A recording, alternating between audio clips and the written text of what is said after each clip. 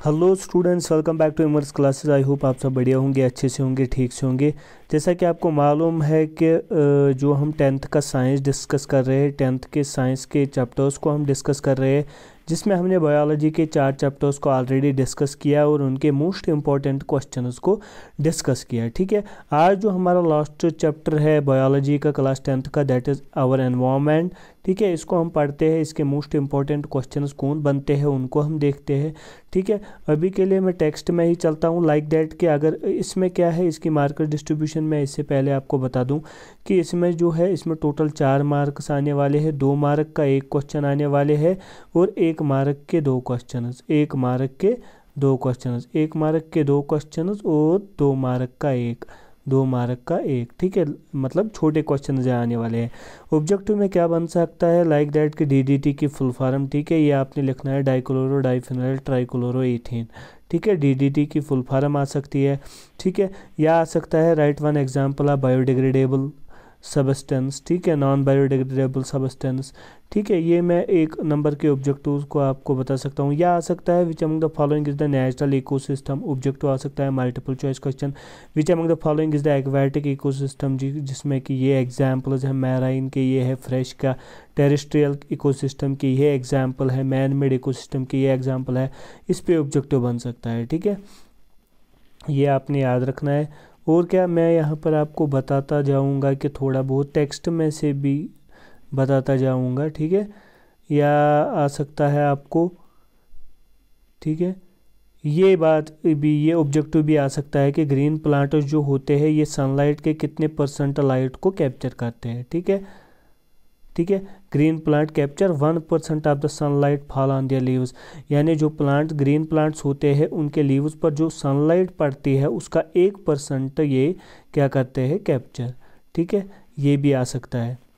ठीक है? यानी energy transfer from one trophic level to another trophic level कितने परसेंट ऑफ़ एनर्जी ट्रांसफ़र होती है from one trophic level to another trophic level that is ten percent very important जिसको हम कहते हैं ten percent law. What is ten percent law? Ten percent law कहता है कि ईच ट्रॉपिक लेवल से ऊपर की ओर 10 परसेंट एनर्जी ट्रांसफ़र होती है। लाइक like दैट कि अगर मान लो कि मैं नीचे से ही लिखता हूँ एनर्जी का जो पैरामिड होता है वो अपराइट होता है, ठीक है? वो ऑपरेट होता है। अगर मैं देखूँगा यहाँ पर प्रोड्यूसर्स अगर मान लो कि इनमें थाउज़ेंड किलोजल एनर्जी है तो ये प्राइमरी कंज्यूमर में कितनी एनर्जी ट्रांसफ़र करेगा? Ten percent ten percent of one thousand kilo joule is hundred kilo joule फिर जब प्राइमरी कंज्यूमर से सेकेंडरी कंज्यूमर में एनर्जी ट्रांसफ़र होगी तो इसका दस परसेंट हंड्रेड किलो जूल का दस परसेंट कितना हुआ? दस किलो जूल इनमें पहुँच जाएगा। फिर यहाँ से ऊपर यानी टर्सरी कंज्यूमर में दस परसेंट का दस परसेंट चला जाएगा, यानी एक किलो जूल ये कहता है दस परसेंट ला। इस पर भी ऑब्जेक्ट बन सकता है या डिफाइन टेन परसेंट ला दो मार्क का भी। आ सकता है, ठीक है? बायो मैग्निफिकेशन इम्पोर्टेंट टॉपिक है, ये आ सकता है। बायो मैग्निफिकेशन का क्या मतलब है? ये मान लो कि ये ग्रास है, ठीक है? ये है डियर ये है लायन ये है producer primary consumer secondary consumer अगर D D T D D T एक केमिकल सबस्टेंस है जो मैंने बताया, ठीक है? Dichloro di phenyl trichloro ethane अगर मान लो ग्रास में टेन पी पी एम है, क्या है? टेन पी पी एम तो जो प्राइमरी कंज्यूमर होगा, उसमें ये डीडीटी की कंसनट्रेशन ज़्यादा होगी। इसको हम कहते हैं बायो मैग्निफिकेशन मैग्नीफाई होना, ज़्यादा हो जाना। ठीक है? अगर हम देखेंगे डियर में ये होगा 200 ppm लगभग। ठीक है? लाइन में होगा फाइव थाउज़ेंड पी ये एग्जैक्ट वैल्यूज़ नहीं है। यहाँ कहने का मतलब क्या है?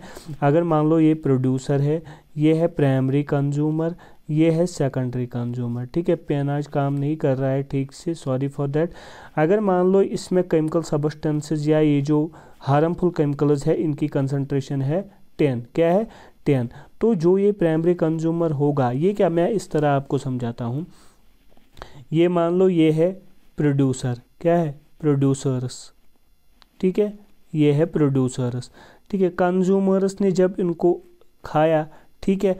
इसमें था for example ten P P M ten P P M D D T अब जब बहुत सारों को खाएगा प्राइमरी कंज्यूमर बहुत सारे लीव्स को, बहुत सारे प्लांट्स को खाएगा तो उसमें जो कंसनट्रेशन है, वो टेन पी पी एम से ज़्यादा होगी। मान लो हंड्रेड पी पी एम अब मान लो ये प्राइमरी कंज्यूमर डियर है। क्या है? डियर है। अब जो लाइन है, ये बहुत सारे डियर उसको खाएगा। इसका मतलब ये हंड्रेड पी नहीं रहेगा। लाइन में ये होगा, for example two hundred P इसका मतलब क्या है? जब एक ट्रॉपिक लेवल से दूसरे ट्रॉपिक लेवल में जाते हैं तो जो केमिकल सबस्टेंसेज होते हैं, हार्मफुल सबस्टेंसेज होते हैं, वो बढ़ जाते हैं, ठीक है? वहाँ पर एनर्जी में टेन परसेंट ही चला जाता था, लेकिन ये ज़्यादा ही चला जाता है, ठीक है? इसको हम कहते हैं बायोमैग्निफिकेशन। या आ सकता है food web and draw diagram of the food web, या food chain the diagram of the food chain. मैं आपको सीधे बताता हूँ क्या क्या आता है, ठीक है? फॉर एग्ज़ाम्पल ये आ सकता है व्हाट इज़ डिप्लीशन, यानी डिप्लीशन ऑफ़ ओजोन लेयर। या ये नहीं तो ओजोन होल आएगा। क्या आएगा? Ozone hole. ओजोन होल किसे हम कहते हैं? ओजोन होल का मतलब क्या है? थिनिंग ऑफ़ द जो ओजोन लेयर होती है जब इसकी थिकनेस कम हो जाएगी, ठीक है? जब इसकी thickness decrease hole is not the hole. मैंने बहुत बार बोला है कि ओजोन होल का मतलब ये नहीं है कि ओजोन लेयर में होल है, नहीं। ओजोन लेयर मान लो ये इस तरह थी ओजोन लेयर, ठीक है? इस तरह है ओजोन लेयर। अगर आप देखोगे यहाँ पर ये थिन हो गई है ये layer this thinning of the ozone layer is called ozone hole ठीक है? ये आपने बताना है। या ओजोन लेयर की थिकनेस किस यूनिट में हम मेजर करते हैं? Dobson unit. Dobson unit. अगर आपने नहीं पढ़ा होगा तो डॉबसन यूनिट में हम thickness of D O B है, ठीक है? D O B S C N Dobson unit. इसमें हम थिकनेस ऑफ़ ओजोन लेयर को मेजर करते हैं, ठीक है? और भी क्या क्वेश्चन बन सकते हैं? लाइक दैट के ये है ना यहाँ पर garbage disposal for example open dumping हम करते हैं लैंड फिलिंग हम करते हैं कंपोस्टिंग रिसाइकलिंग रीयूज़ इससे हम नॉन बायोडिग्रेडेबल सबस्टेंसेस को क्या करते हैं? सेपरेट करते हैं, ठीक है? अगर हम अब क्वेश्चंस की ओर जाएँगे डिफाइन बायोमैग्निफिकेशन अभी मैंने बताया बायोमैग्निफिकेशन क्या होता है। फुल फार्म आ सकती है like C F C chlorofluorocarbons U N E P United Nation environment programme या D D T di chloro diphenyl trichloro ethane ये आ सकता है एक मार्क का। ओजोन होल डिफाइन कीजिए, ठीक है?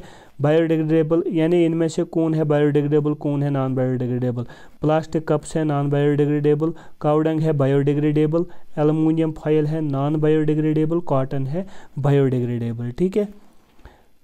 फ़ूड वेब या फ़ूड चेन आ सकता है। Define ecosystem ecosystem is the system in which all the biotic and the abiotic components interact with each other ठीक है? Difference between biodegradable and non biodegradable waste is important ठीक है?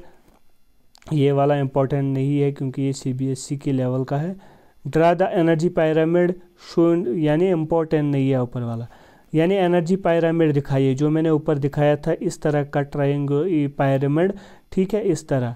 ठीक है, वही बनाना है, वो जहाँ बना मतलब वहाँ पर जो बना है, वही बनाना है, फिर शो करना है कि एनर्जी ट्रांसफ़र होती है टेन परसेंट ला के हिसाब से, वो बनाना है और वहाँ पर लिखना है थोड़ा बहुत के energy transfer from one trophic level to another trophic level ten percent energy transfer होती है, ठीक है? मैं ये पी शेयर करूँगा टेलीग्राम में, फिर इस पीडीएफ को देख लेना, ठीक है?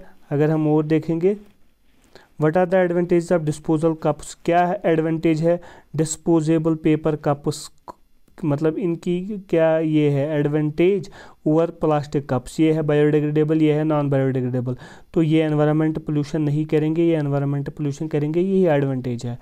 ठीक है? किस तरह हम वेस्ट डिस्पोजल के प्रॉब्लम को रिड्यूस कर सकते हैं? वही पेपर रिसाइक यानी रिसाइकलिंग ठीक है? रीयूज़ का ठीक है?